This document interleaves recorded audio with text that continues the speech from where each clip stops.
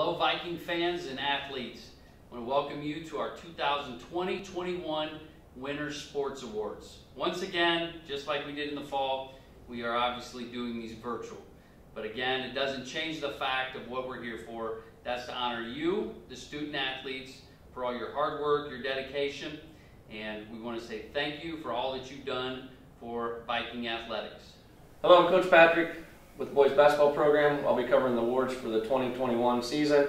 Um, just want to give a few thank yous real quick. Uh, thank you for the administration for allowing us to have a season. Most teams didn't have the full season like we did. And thank Aaron Butcher and Emily Gearhart and Chris Sechrist for all their work in the athletic department. Uh, Michelle Hoffman and the custodians do a great job for us. Uh, Johnny Witham and the stats.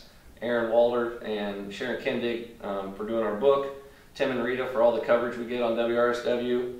Um, the fans, we were allowed to have fans at many games. It was great to have have a few there. The road games, we didn't get many. And uh, you know, parents for the for the crazy schedule we had this year with all the changes and the transportation, and then providing food for the away games. We really appreciate that.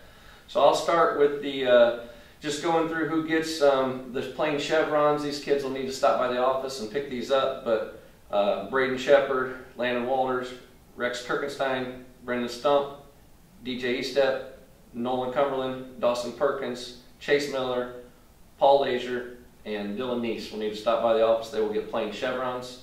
Basketball chevron only will be Cooper Walls and Dominic Welp. And then a basketball chevron and their TV patch will be Damian Kohler and Kyler Johnson. And getting all three, the basketball chevron, TV patch, and numerals this year will be Riley Shepard. So those kids could stop by the office and pick those up. And I will start with the awards for the C team. The C team went 8 and 1 this year, had a very good year with mostly uh, freshmen. Um, the uh, leading rebounder for C team will be Kyler Johnson. Leading assist this year for C team is Nathan Parker.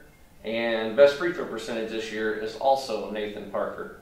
So congratulations to those three. Like I said, we had a very successful C team and we look forward to, to great things from those kids. The JV basketball awards. The JV finished 16 and 6 this year. Had a very good season as well. Uh, and the leading rebounder this year with 109 rebounds was Dylan Neese. Leading assist this year for the JV is Cooper Walls with 70. And the best free throw percentage this year on the JV was Landon Walters at 76%. And now we will conclude with the varsity awards. The varsity awards this year, varsity team started off pretty rough with injuries and COVID and uh, finished the year on a stronger note, finished at 7 and 16, but our last 10 games we were 5 and 5 with everybody there and healthy. So it was much, much better into the season than the start. So um, starting off with captains, these are voted on by the, by the players and coaches. Chase Miller, Paul Lazier, and Brendan Stump were our three captains voted on by the team and the coaches. Um, the Booster Club Award will be Senior Chase Miller. Congratulations, Chase. Mental Attitude Award, which is also voted on by the players and the coaches, will be Landon Walters. And the field goal percentage this year at 56.5% was Dawson Perkins. The best free throw percentage this year at 88.5% will be Nolan Cumberland. Our leading rebounder this year with 178 rebounds was Dawson Perkins. Leading assist this year with 50 assists was Brendan Stump. The best three-point percentage this year at 38.7% was Paul Lazier.